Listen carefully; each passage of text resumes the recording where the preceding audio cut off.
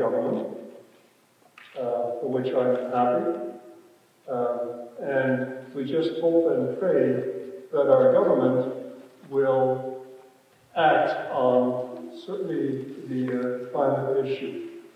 So far, it doesn't sound so promising with the Trans-Canada Pipeline uh, or, the Trans-Mountain Pipeline.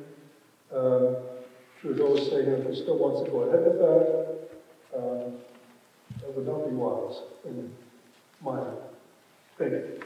So um, I'd like to just sort of go over some of the things that we've been talking about to summarize um, some of the discussions we've had and to sort of move forward from there. So here are some of the graphs I showed in the first session. Our energy consumption has been escalating significantly since uh, the Second World War, particularly in the area of fossil fuels. This whole section here, the three of the three middle ones are the increase in oil use. That's the world energy consumption. This is the per capita consumption, which has also been increasing steadily, except for leveling off a little bit here. But now again, we see that it's on the increase, the wrong direction. This is the actual level of carbon dioxide that has been measured at the Mauna Loa station in Hawaii. The carbon dioxide level has increased about 45% since the Industrial Revolution began in the 1700s. Uh, we are currently at around 410 parts per million and increasing, as you can see from this curve, increasing rather uh, steeply. And this is a long-term study, so the data that we see here is obtained from different sources, ice cores being one of them, and we see that the carbon dioxide level has been pretty much constant for the last thousand years, except since about the 1800s when we see the sharp increase. And that's the concern. The greenhouse gases that are responsible then for absorbing some of the Earth's energy uh, are primarily carbon dioxide, methane, nitrous oxide, and the freons used primarily in uh, cooling equipment. And you notice that the first three, carbon dioxide, nitrous oxide, and methane, are also on the increase. And this is a shorter time period from about 1980 roughly to the present. So we see again a steady increase in these greenhouse gases. Carbon dioxide uh, is, of course, from fossil fuels. Nitrous oxide is often a byproduct of combustion or degradation of nitrogen fertilizers that farmers use. Those are probably the two main sources. And then methane is often associated with fossil fuels. It itself is a fossil fuel, and one of the sources from leaks.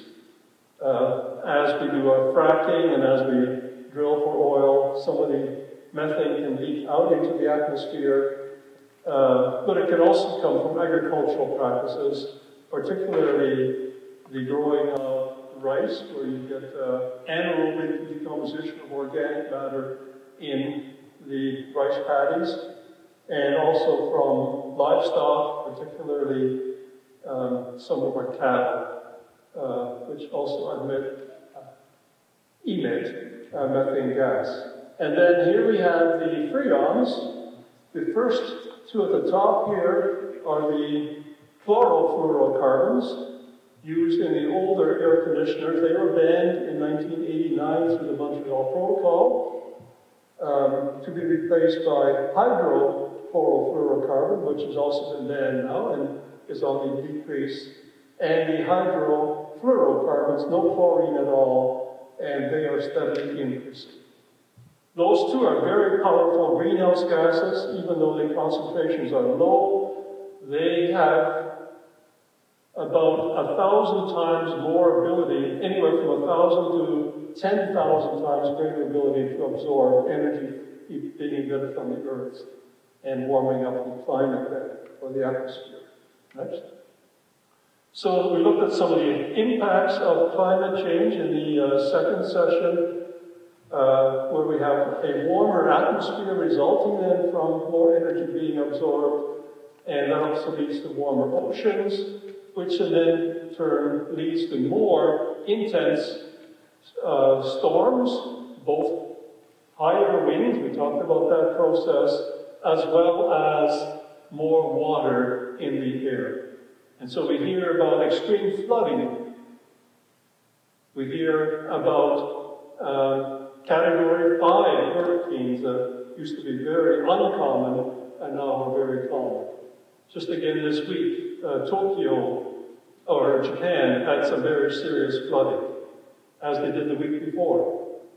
Uh, so they've had some very serious uh, flooding in their country.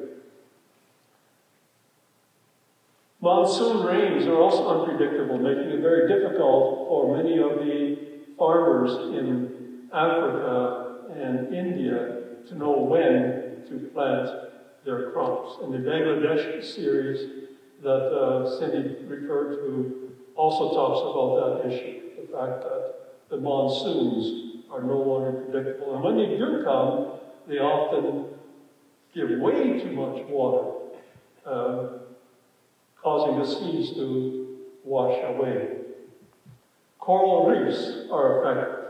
The Great, the great Barrier Reef of uh, Australia is almost 50% destroyed. Uh, and coral reefs around the world are facing pressure. We saw that the vast majority of glaciers around the world are melting. And that this past summer, Greenland had some some of the most ice melt in its uh, recent history. The permafrost is uh, thawing, leading to instability in many Arctic communities and affecting the uh, native activities in those areas. We find more intense wildfires. Again, if you've been watching the news at all recently, California is on fire because of the excessive droughts that they had, and had, had to shut down the electrical system because of the concern for sparking, which could ignite more fires. And so a large segment of that population, that state, is being affected by the recent fires and uh, loss of electricity. We find the spread of tropical diseases such as um, malaria spreading throughout the world. Um, the West Nile virus is now common in our area. We're finding other diseases like that. And the production of crops is affected. For every degree rise in temperature, the crop yield goes down about 10%. And so those are also effects that we're experiencing and will have dramatic effects in the future. Third talk, we talked about the controversy associated with climate change and why, even though the science has been very clear since the 1900s, or even the late 1800s, um, we still find so much discussion about it.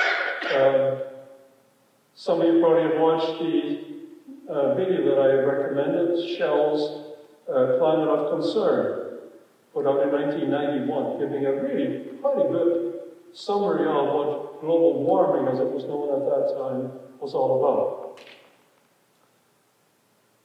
After the Earth Summit in Brazil in 1992, we had the um, campaign of misinformation by the oil companies um, to confuse the public about the science of climate change. If you say something often enough, people begin to believe it. And so, by getting other so called scientists to speak on their behalf, uh, they were able to convince the general population that the science was really not that well understood yet, and therefore we should not worry. Was primarily to protect the interests of the fossil fuel industry. The Koch brothers were uh, leading financiers for this movement. And as a result, uh, we still find many people, including fellow Christians, who deny that humans can have an impact on our great world. The United Nations Intergovernmental Panel on Climate Change says that we must keep the temperature increase below 1.5 degrees ideally. In order to achieve that, we have to have drastic cuts in our greenhouse gas emissions. And as we hear reports from various scientists around the world, we hear them say that the impacts are actually occurring faster than what we had planned on or what we had thought would happen. And then we also looked at our economic system. What is it about our economic system that allows this kind of thing to happen? And so the economic system is a linear system in which we take our raw materials, convert it into various products, and dispose of that in our garbage dumps, basically. We don't really recycle the resources within uh, the creation very much. It certainly is not set up the way nature is designed to work, where we have no waste. There is no waste in creation. Everything gets reused by the various organisms that God put into creation at the beginning of time. Our economy is based on continued growth of our gross domestic product. And if it falls below 1%, we're in trouble. If it goes zero, oh man, that's a disaster. A recession is, going, is going to start. But within creation, again, if you have uncontrolled, continuous growth, that leads to the death of an organism, such as in occurs with cancer. If cancer continues to grow in a person's body, you simply cannot live. And we see that happening with our economic system then as well. We see that our system is failing the world, it's failing the poor people, it's failing so many people throughout the world not just within our own country, but it's failing people in Africa and in China and elsewhere. And why is this? Well, it's partly because of the extreme capitalism that we have now. Capitalism itself is a good economic system and it motivates people. But when you have the extreme with no controls, no regulations, then it's almost like a dog eat dog world, and whoever can bite the best can get the richest. And so uh, we have a wide disparity between the rich and the poor, and that is growing ever wider, which is leading to unrest in many countries. We've seen that un- unrest in France with the Yellow Jacket movement. We've seen the unrest in the US with the uh, 1% movement. Uh, so we, we, we see glimmers of this unrest throughout the world. And so we need another economic model. And so I introduced the donut economy uh, from Kate Raworth. And uh, just look at that again, in which she says there are limits outer limits to our society and inner limits to the society. The outer limits are, in a sense, the creational limitations or the ecological limitations or boundaries, you can use different terms.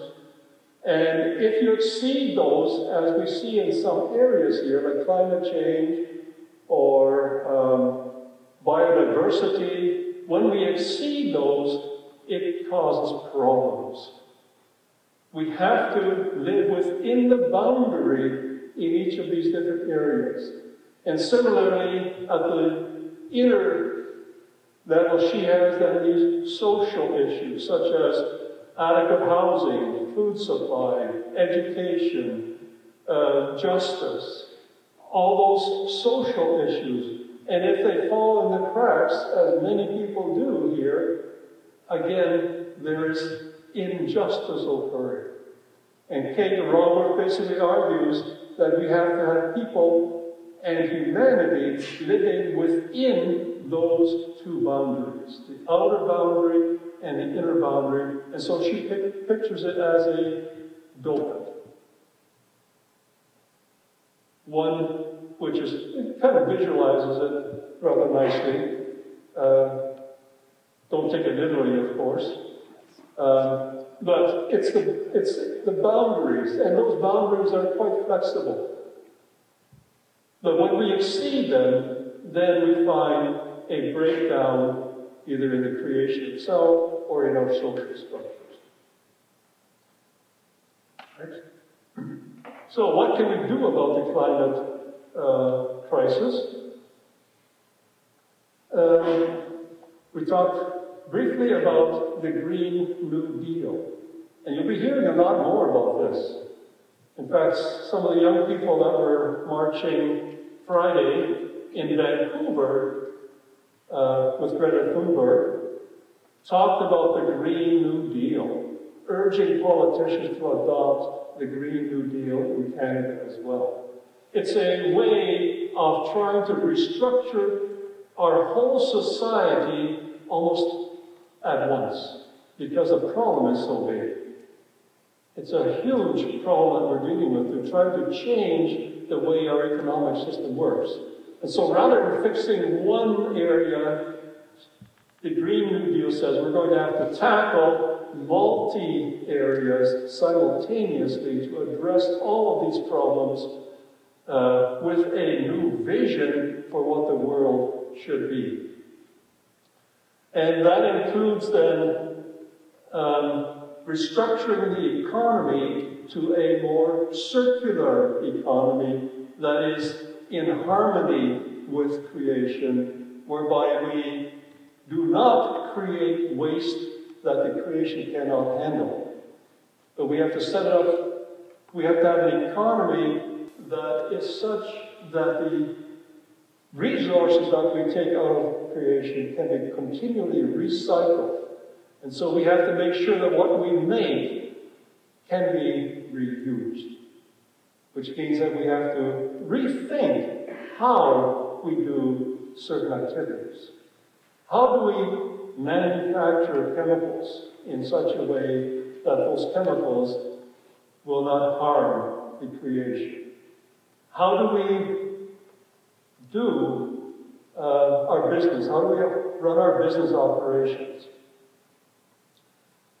Corporations within that system also need to have less power, and we need to have more community ownership of uh, our own decisions. So rather than having the uh, corporate corporations take over our public utilities, as we have under some of our free trade agreements, we need to ensure that communities retain ownership of those very important resources that need to benefit all of our citizens. We must eliminate fossil fuels by, or maybe not eliminate fossil fuels themselves, we need to eliminate the use of fossil fuels. I think that would probably be a little better to phrase it than we don't want to get rid of fossil fuels, we don't leave them in the ground. Um, so we, we have to ensure that we have a way in which we can do that in such a way that people aren't going to suffer as we make that transition. So that has to justice has to be always a big component of whatever we do as we make the transition away from fossil fuels to sustainable forms of energy. And there are basically two approaches that we can take. We need to use less energy overall. Because if we just keep on using more and more energy, we're like that economic system that depends on growth. We have to learn to use no more energy than what's available to us in the form of sustainable forms of energy. So that we can also then increase our sustainable forms of energy without at the same time uh, increasing the demand overall for energy. Because if we continue to demand more energy, we can't provide it in sustainable forms. It simply will not work. So we have to learn to use less. So conservation has to be a very important part of that, as well as using things in a more efficient way. And we sometimes have to look at alternate ways of doing things. Can we make carpets in a different way that is more sustainable? Can we, you know, and you can put in whatever you want, can we do things in a different way that uses resources wisely and uh, can be done with sustainable, with sustainability in mind? That requires some very creative thinking. We need young people with a vision to be able to look at that in different ways and to say, well, just because we've done it this way doesn't mean we have to continue doing it this way. Your way didn't really work all that great. It left us with a lot of problems. And young people are starting to at least raise the issue, uh, but they're also looking for us yet to encourage them and to sort of guide them in terms of what they can do. And then we also need to transition to sustainable forms of energy.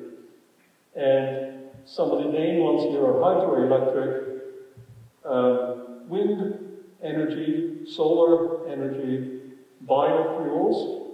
And as just one example, on the radio I heard this week that the city of Toronto, as a company that wants to take all organic waste uh, doesn't matter where it comes from, as long as it's organic and biodegradable, they will take that and put it basically in a digester. And they'll use the bacteria under anaerobic conditions, that's without oxygen, to break down that organic matter and produce methane gas as a byproduct. Uh, some farmers already do, do that with their manure systems. They produce their own natural gas. That methane that they produce is exactly the same as the methane you get out of the ground. So chemically, it's the same. It's just that it's being produced from a, uh, a biological process rather than uh, from the ground. Uh, this uh, slide shows some of the growth in the renewable uh, energy worldwide. This is from 2007 and 2017. It's hard to get right up to date information on this, but you can see the trend that there's been a steady increase in the uh, use of fossil fuel, of, of uh, sustainable fuels. Uh, hydropower, wind power, solar, biopower, that's the type of stuff that comes in from digesting organic matter, and uh, uh, power from oceans with various forms of getting power from the waves. Uh, next. Just to uh, have a look at the potential of solar, for example. It's estimated that this is the amount of solar energy that reaches the Earth every day. A huge amount of energy. This is how much we're currently using uh, in the form of solar energy for our electricity needs. And if we were to convert or consider our use of electricity, this would be how much we actually use per day worldwide in terms of electricity. You can see there's a huge space in here where we could have more solar panels and convert more of the sun's energy into electricity. So the potential is there for a tremendous growth in solar. And last week we saw some of that growth taking place in uh, a 2,000 megawatt solar plant in India, where they're producing a, a huge amount of, of electricity. I think it would be better if we distribute those panels within villages and on people's homes so that we don't have to transmit the electricity everywhere. Uh, but we tend to want to do things on a big scale anyway when we make conversions. Uh, you do have the economic advantage of, of lower cost, but at the same time, there's also a cost associated with doing it on a large scale. It takes up valuable land, and uh, we do have our, our, our parking lots and our roofs on buildings and our homes, and we could put, we begin by putting solar panels on many buildings. Next. This coming December, we have uh, COP25, which is the um, the uh, coalition of the parties. This is from the United Nations. Uh, they will be. This is really their climate um, branch. They'll be meeting again in uh, Santiago this time, Chile, December 2 to 13. The theme there is time for action. We've been doing a lot of talking, a lot of promises have been made, and they're saying at this meeting we're going to have to make some tough decisions and say this is what we're going to be doing. We want to do this, and those are our targets, and we're going to stick to them. Um, we're going to have to reduce our emissions not by 30%, which Canada has set, but we have to reduce it by at least 50% by 2030. Uh, at the rate that we're going, as I saw earlier, Canada will not even meet its target of a 30% reduction by 2030. Uh, we have to do some pretty drastic things to get our carbon emissions down. Last week uh, we looked at some of the uh, low impact development. Um, next one, maybe. Where uh, we had Graham Hubert come here from uh, Indwell talking about his uh, passive buildings that, he's built, uh, that they're building for Indwell that use roughly 80% less energy for heating and cooling through just simple changes to the way the buildings are built and putting in very good quality windows. The, the uh, energy costs are reduced drastically, 80%. That's without using any special technology. So it's amazing what they've been able to do. And it's primarily done by ensuring that we don't have thermal bridges between the inside of our homes and the outside that conduct the heat away. Very few builders take that into consideration when they build homes. A passive home uh, is designed to minimize that heat transfer between the inside and out, leading them to lower energy costs. Within our own church, we basically have a zero carbon church. We don't use any uh, fossil fuels in the building, except for what is used for generating electricity and what is used for our water. So um, the operation of the building is all electric, and then we also have water. At the time that we built the building, we uh, decided as a congregation to go geothermal. Uh, and uh, we installed 12 roof, uh, heat pumps located up in these ceilings uh, in the hallways. You don't see them here. Um, but the ductwork is basically the same as what you have in a conventional building. So we have the ducts along here. Uh, but the heat itself comes from the ground. We have no backup system here, so there is no res- electric resistance heating or backup fossil fuels. It's all done by heat pump. And the additional cost for the system was roughly sixty to seventy thousand dollars estimated. And uh, we, the congregation voted one hundred percent to make that additional expense. And uh, we then applied also for a grant, and we were able to get the maximum grant of fifty-four thousand dollars at that time in two thousand five. So it was really a no-brainer when uh, we thought. Uh, next slide. Here you see some of the pictures. We have roughly seven kilometers of pipe under our parking lot, and that's where we extract our heat from, from the ground. It's, it's about six, six to seven feet underground, uh, right under the parking lot.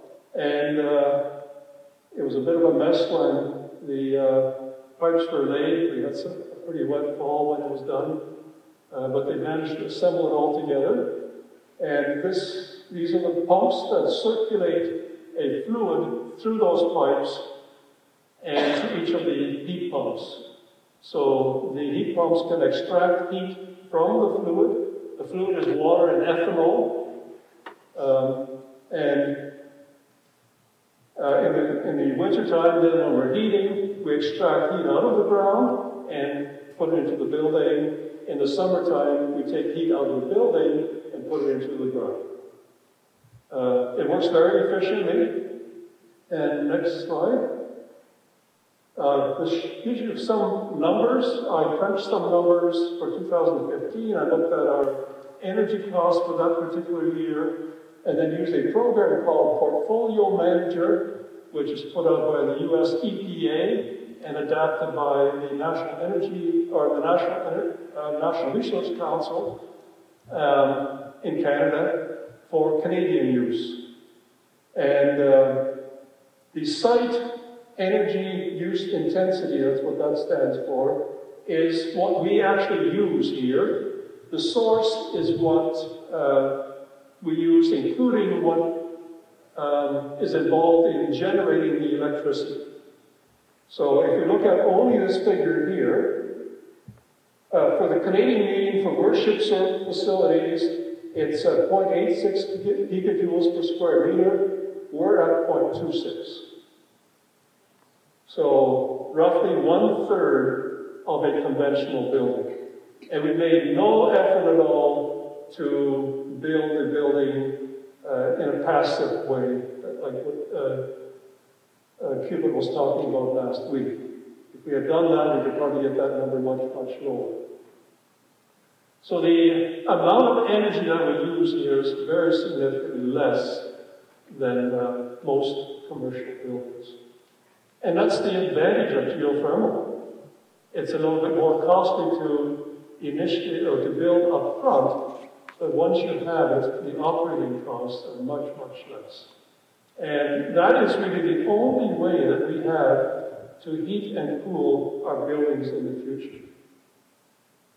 The units that we have here are over 10 years old now. Newer ones are about 25% more efficient than what we have. And that number continues to go up, the efficiency of these heat pumps.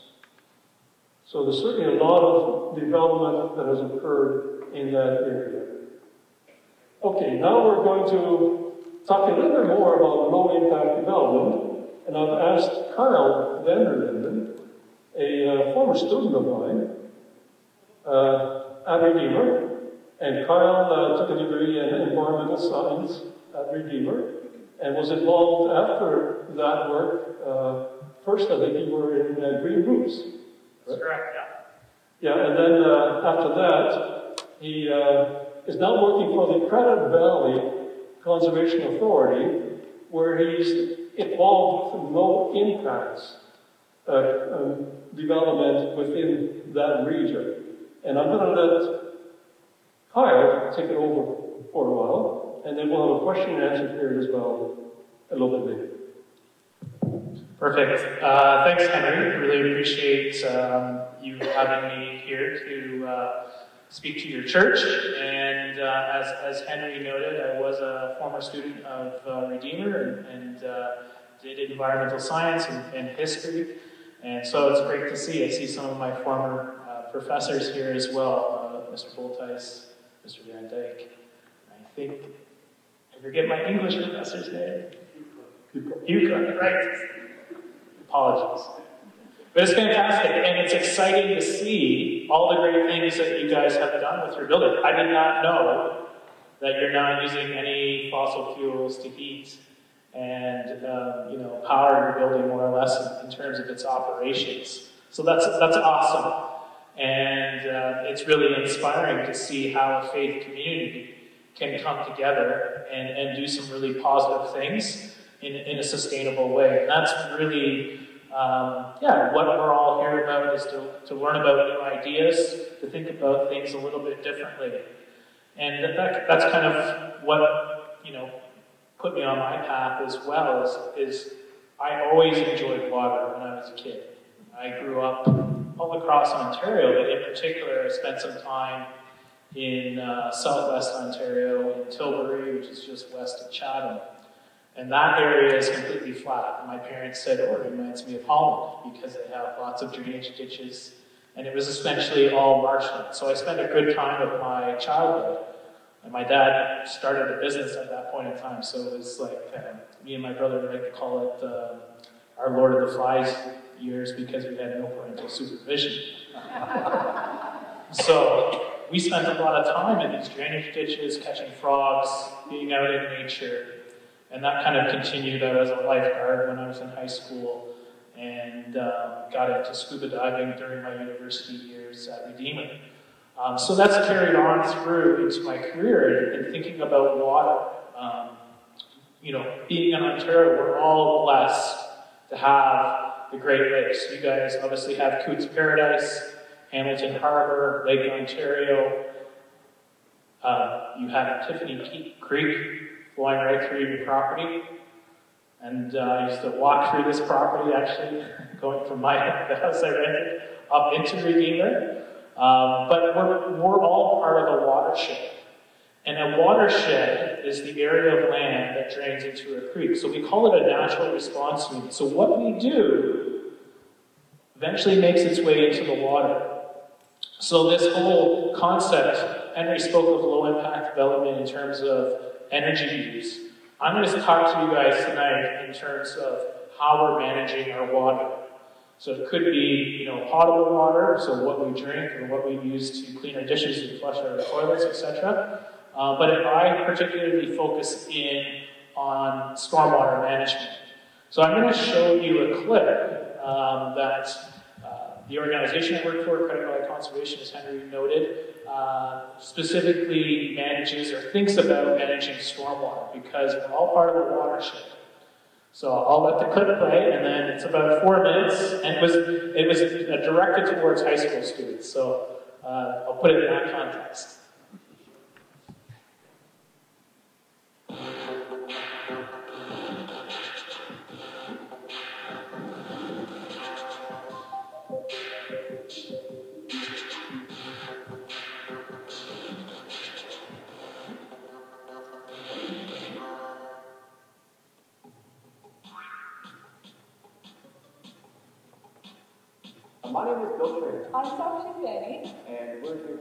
About low impact development. Low impact development, or LID, is a way of managing stormwater as close to where it falls as possible. Some of the most uh, widely known low impact development facilities are permeable pavement, bioswales, and rain gardens.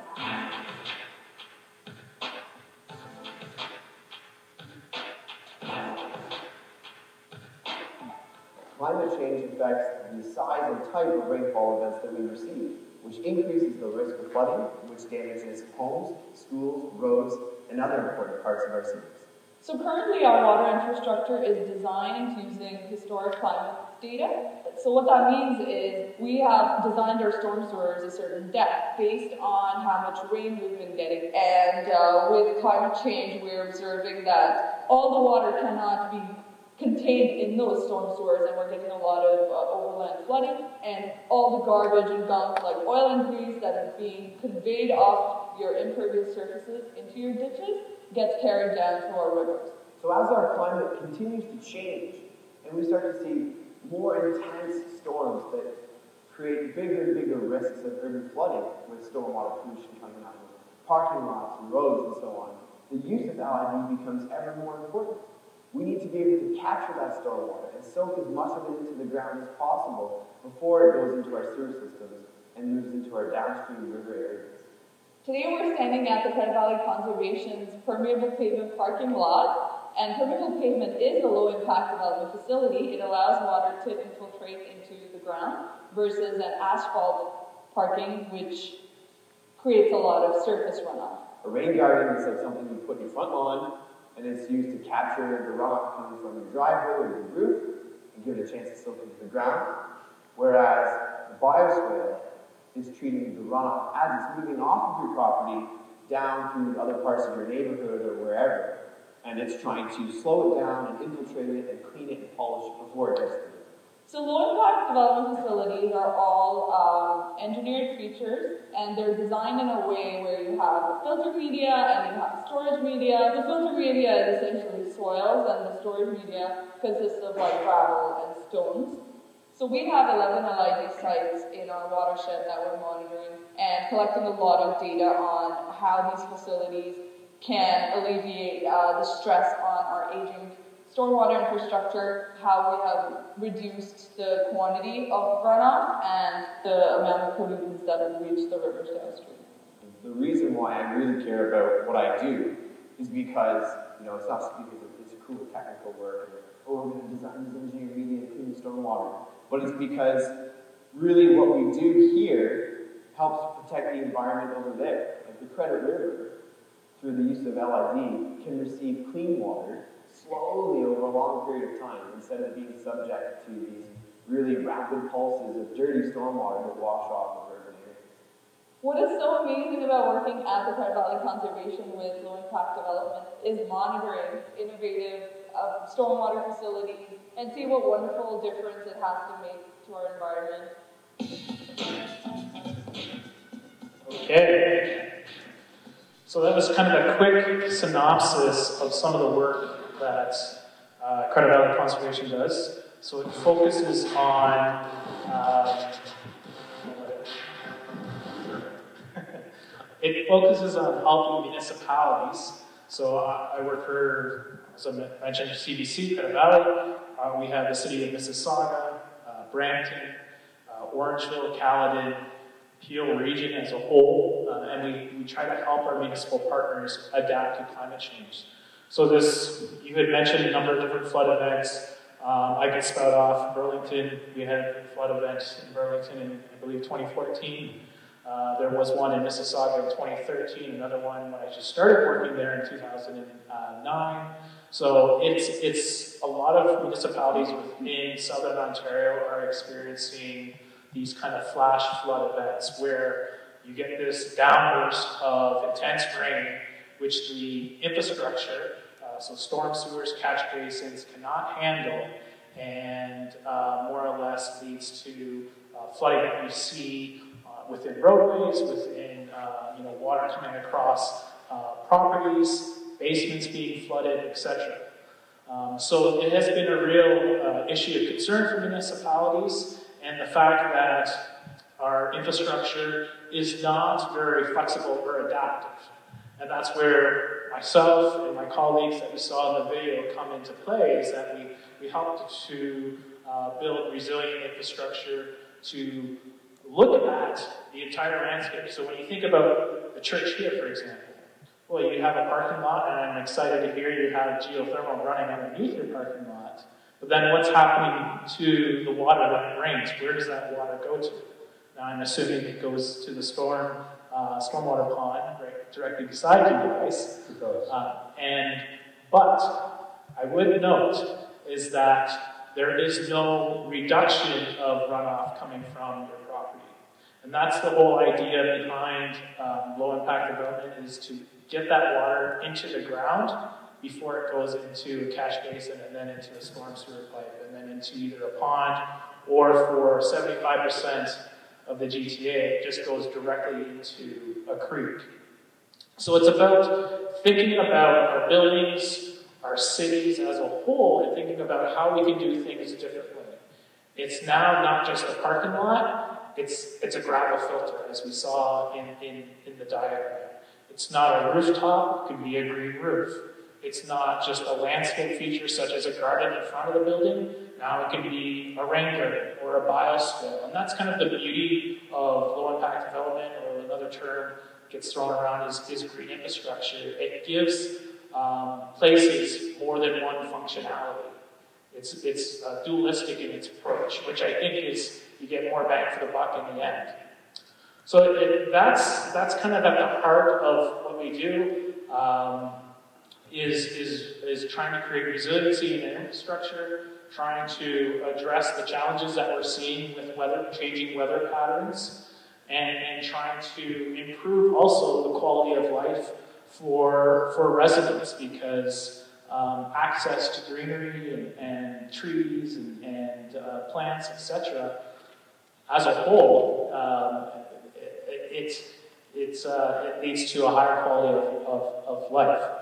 So I guess my, my challenge to the, the congregation is here is let's not stop at energy. Let's think about water as well, what we can do. Is there something that we can do with our landscapes? Um, you know, when you think about your capital budget planning, what can you start to think about, you know, five years down the around, 10 years down the line, and thinking about how we can manage the water on our property as well. So on that note, I'll uh, leave it there. And I'm very aware we have about 20 minutes left, so I just want to let you all know that this section of the evening is actually um, a workshop that is a whole day workshop. I'm not going to keep you here for the rest of the night, don't worry. Um, but it's designed to be a whole day or four separate evenings. So I'm going to jam a bunch of information into the next 20 minutes as well as an activity. But just so you know, I highly recommend taking this postcard, going to the website and downloading the full workshop because there's so much more information there's so much more to supplement you and help you prepare for doing advocacy. Um, and that's something you can do on your own, something you can do as a part of a group at your church or in your community, or you can even contact us and we'll come and help facilitate that for you. Um, so if you want to go to the fourth slide, so there should be. Oh, okay, sure. There. um, so we created this workshop because we had a lot of people coming and talking to us about wanting to speak out, wanting to have their voices heard, wanting to talk to um, their political leaders, whether that is your prime minister, whether that's your MP, your MPP at the provincial level, or your MLA if you're not from Ontario, or even your ward councillors. You know, sometimes you want to talk about something that is really specific to your local community, and it might be someone at the municipal level that you talk to. So we created this workshop because we wanted to equip people with the tools needed to be able to actually go and do that work. Now, whether that's making phone calls, whether that's writing letters, that's social media, or meeting in person. We really emphasize in-person meetings as being really important and valuable. Um, so this workshop um, is designed to equip you with all the tools to do that step by step. So next slide. Some people ask us why do we do advocacy why do we call it biblical advocacy? Um, some people think, you know, the church shouldn't be involved in the political sphere. Some people get worried about being too political. Um, and this is probably written really small, but I have a bunch of examples there about um, different reasons why we think that advocacy is actually a biblical concept. Um, we look at the example of Esther and Moses speaking up and speaking truth to power um, when we understand the concept of shalom, of communities thriving and having enough and working for a just world where structures and institutions give everyone the opportunity to thrive, that is actually what we're working for as part of our Christian communities. And um, finally, we know, we know that charity is important, but we also want to work for long-term change that would mean, hopefully, that we wouldn't have to rely on charity constantly, but to actually find change for those unjust and broken systems. So if you have any questions afterwards about you know, why Christians get involved in political activities or why we get involved in advocacy, please come talk to me afterwards. Um, I've got a lot more resources uh, about why I think it is actually our biblical call to do advocacy. So next slide. Ah, next slide, we're running out of time. So I'm going to give you guys a really short, um, focused in session in the next 10 minutes on how to do advocacy through these awesome postcards um, that we've created to help you share an advocacy message. The workshop itself does training on how to write letters, again, how to prepare for an in-person meeting with your MP. But one of the first steps you can take is really to write a short message um, based on the information that you've learned, either just tonight, if this is your first night here, or over the past six weeks. Um, sharing a message about what is important to you and how you would like your elected leaders to respond to issues such as climate change. So we're going to start with your, your key message. I've broken this down into three specific questions, the three W's. What is your issue? Why do you care? And what can be done about it? So if you can ask yourself those three questions about whatever issue is important on your heart, what's burning, burning in your mind after hearing Dr. Brouwer speak, um, or you know, talking about watersheds, or talking about um, infrastructure and buildings and the ways that we put together our communities. Um, whatever that is that you've been thinking about, um, I think for most of us there's probably one thing that's stuck out through this whole series of what we really um, think is important and what we want to respond to. So in asking those three questions, what we're trying to do is help you dial down your issue. Because it's really it's easy to sort of write a letter or walk into your MP's office and say, I want you to care more about climate change. And they'll say, okay, that's very vague and unspecific. Um, can you share more? So what we try to do is help people dial down your message from the very beginning to get a sense of, you know, what is a specific tangible thing that you can ask for action on. So that's why we've broken it down into these three W's. So for example, what is your issue? If I were to say, for me personally, over the series, I have found um, a, a particular interest in renewable energy, especially when it comes to reducing fossil fuels, and especially when it comes to driving. I actually need to replace my car in the next couple months. I drive a car that's about 20 years old. It is well beyond its happy days, and it's an adorable Volkswagen Bug. It's really cute, but it's gonna die. Um, so my issue personally is that I need to have transportation because of, you know, because of the, the circumstances of my life, I need to have a car to get to work, to get to visit my family. And so I'm thinking about the possibility of getting an electric or a hybrid car. So to me, what's really pressing on me is why are there so few hybrid and electric cars available? Why is this something that the government is not stepping in and endorsing or helping? You know, in the past there have been um, tax credits you can get or rebates and things like that, not super available right now. So my issue personally might be um, that, that particular thing, wanting to talk to an elected official about increasing access to hybrid and electric. So I care about that because it directly affects me, because I actually have to make a choice about that in the next couple months. And what can be done about that? Well, if we look at the past, we can see that there have been, again, particular tax credits, particular programs available to help people um, access those products a little bit more affordably. So that is just a very quick walking through of one of those issues. Yours might have nothing to do with cars, yours might, yours might have something to do with something entirely different. Um, but I encourage you to just think for, I'm going to give you three minutes to think through those three questions and answer them. And as you answer them, write down your answers to that um, in sort of a very shortened letter form on the back of this postcard. So, for example, if you're not, um, you know, if it's not coming right to mind exactly what to say, you could say, Dear, well, I'm going to get to that part in a minute actually, so don't fill out the address part. Um, but say, I am particularly concerned about X issue. I have heard this about it based on what we've learned over the past six weeks. I think this should be done. Signed, your name. So I'm going to give you three minutes to do that. I know some of you probably are deep in thought, but you can finish it um, when you go home, or I know some of you might want to take more time to think about it and work on it a bit later. Um, but I want to move on to the next section just to give you a quick um, overview of how to identify your elected official. Um, hands up in the room, do you know who your MP is, who you just voted for, or? Is there anyone who doesn't know how to identify who your MP is? No one's putting up their hands. Well, we'll go through it really quick. If you can just go to the website. Um, if you're ever wondering, um, particularly who the person is that you would want to contact um, in Parliament, there is a website called ourcommons.ca where you can actually click, just actually click just to the right there on members, and then members of Parliament, down one.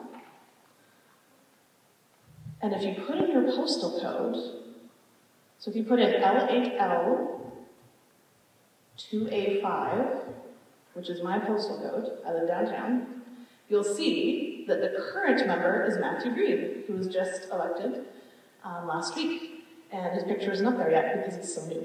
Um, you can go down to the contact button, down right there, down below. And uh, if you scroll down, you'll actually see all the contact information for the constituency office, which is where you would go to meet with them in person here in the local community, or their office on Parliament Hill, which is actually where we're going to send these. You see that it's actually addressed to that already. That's because in Canada it's free to send mail to the House of Commons because it's Canada Post owned by Canada. Um, so it makes it a lot easier to send advocacy messages like this. So if you do know who your MP is, you can put their name in the Dear Matthew Green section or whoever it is. If you don't know, you can come chat with me after and we can make sure to get that filled out for you. Um, I'm going to go back to the slideshow for the next couple minutes um, and just talk a little bit about in-person meetings. Um, we think that sending postcards are really helpful, especially when they're ones like this that have similar branding so that they get a bunch from the same organization. Uh, this is the Center for Public Dialogue, and so they can see that there are a lot of people who care about a particular issue or who are speaking out through a particular agency. So we do think postcards are helpful. We don't think they're the most helpful, though. We actually think that in-person meetings are the most helpful. Um, letters are helpful, social media, calling, you know, they all have their different place, um, but we really want to emphasize how important it is to actually go and meet in person with these individuals um, because it actually is their job to hear from you. It's actually their job to represent their constituents and the people who voted for them, or even if you didn't vote for them, they're still, you know, they're still responsible to you. Um, and it's their job to take into consideration what the people in their local community think and care about. So that's why we think it's important for you to speak out. Um, we also think it's important because there's a possibility that you may know more about a particular topic than they do. I would say it's almost a guarantee that Henry Brouwer knows more about climate science than your local MP does, no matter how brilliant they are. So it's possible that now that you've learned from Dr. Henry for the last six weeks, you might know more about climate science than a particular elected official, and you can take that knowledge and go and talk to them and help convince them, or give them a really convincing argument at least, about a particular issue. So can you go ahead in the slides? Um, keep going, we're not actually gonna, okay, yes, here. So we really recommend um, that if you go to meet with an elected official, whatever level they are, whether it's your ward councillor, whether it's your MP or MPP, that you prepare before you go. It's really important to have a sense of um, how a meeting works, um, but also how to structure it so that you go in with notes, you go in prepared, and you go in with enough knowledge to be able to have a reasonable and credible uh, conversation with them. So first off, we say start off with the good news. Um, introduce yourself and build positive rapport. So by that we mean it's actually really important to build a positive relationship with the individual. Um, there's so many people who go in with only bad news, with nothing good that they can say, with the sense of, you know, there's nothing good you could possibly do. Um, and that just doesn't start off a positive relationship. And it doesn't put them in a position to really want to hear you and um, help push forward your position. So we say start with the good news. Even if you didn't vote for them, even if you don't particularly like them, find something positive to say and build a good rapport with them. And then state your key message. So those three W's that I just said, that's your key message. It, you know, if you were to um, be in an elevator with with a powerful person. If you walked into an elevator with Justin Trudeau and you wanted to be able to rattle off in 30 seconds um, what you think needs to be done to make the world a better place, that's what your key message is. So um, that's something to state right off the bat, make sure that that becomes clearly the purpose of the conversation, the purpose of the meeting, and identify what you are wanting to accomplish. A lot of times when you meet with someone, with an elected official, you have about 15 to 20 minutes. Um, you're lucky if you get half an hour. And you have to assume that for half of that time, they'll be talking. You're only going to get about half of that meeting in terms of um, opportunity to speak. So you need to be able to be very clear, very succinct, and to have that all laid out before you meet with them. Um, so state your message and identify the problem. Get a very clear, concise, relevant brief of what the issue is. And then pose pertinent questions. You know, offer constructive criticism to, to the issue, um, and also identify some potential adverse effects that there could be to a current policy. You know, there could be a potential adverse effect towards current policy of cutting 50% of the funding for flood management. That is a potentially catastrophic thing to do. And you could point out some um, adverse effects to that if that policy continues. Next slide. And then present your credible solution. So what, what should be done about it? What action do you want them to take? It's important when you're going in to meet with someone, even if you're not an expert, even if you don't have degrees and letters behind your name, that you still come up with some level of suggestion or solution to what you're wanting, wanting to happen. If you go into a meeting again and say, everything's wrong, I hate everything you do, I have nothing positive to say, and I also have no solutions to the issue that I'm bringing to you, again, you're not going to get very far.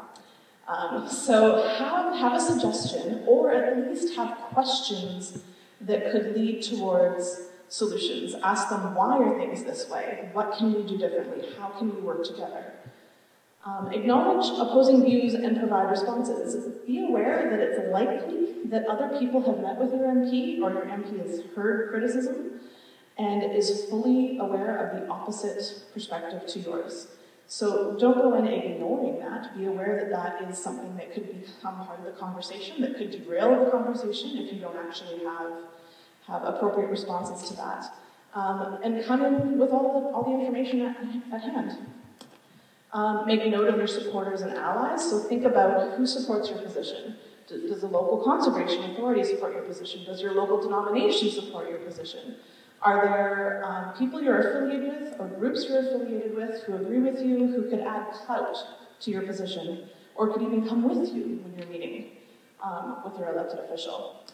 And then finally, at the end of your 15 minutes or whatever time you've been given, restate the specific reason for your meeting. Bring the discussion all the way back. If it's been derailed, if the MP's gone off and talked randomly about tax cuts or something, bring the conversation back and um, talk about your key message and ask for a specific response. It's actually really helpful um, not to see that one meeting with your elected official as the final end goal of all of your advocacy, but to see it as actually a continuing conversation. You're going to continue to ask for responses, continue to meet with them, continue to communicate with them, and ask them for a particular response. Say, I want to hear back from you in two weeks, or I want to know when the budget comes down from the federal government if there's going to be funding included for this particular climate care policy, for example.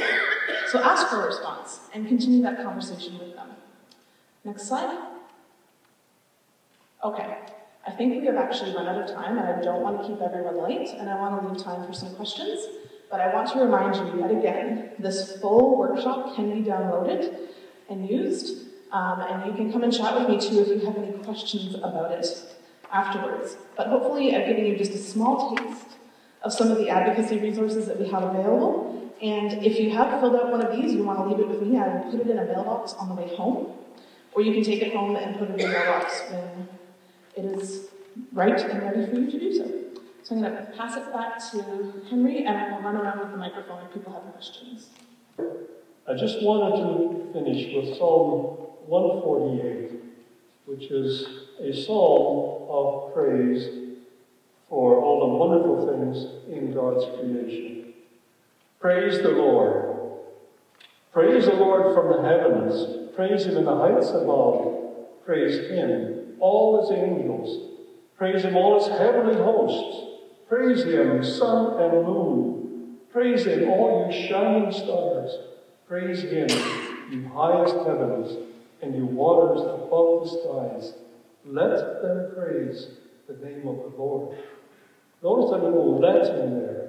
It's almost as give all these things permission to praise the Lord. And when we screw things up, it means that those things are not able to praise the Lord. Let them, um, let them praise the name of the Lord, uh, for at his command they were created, and he established them forever and ever. He issued a decree that will never pass away. Praise the Lord from the earth, you great sea creatures and all ocean depths, lightning and hail, snow and clouds, stormy winds that do his bidding, you mountains and all hills, fruit trees and all cedars, wild animals and all cattle, small creatures and flying birds, kings of the earth and all nations, you princes and all rulers on earth, young men and women, old men and children, let them praise the name of the Lord, for his name alone is exalted. His splendor is above the earth and the heavens, and he has raised up for his people a horn, the praise of all his faithful servants of Israel, the people close to his heart, and that includes us. Praise the Lord.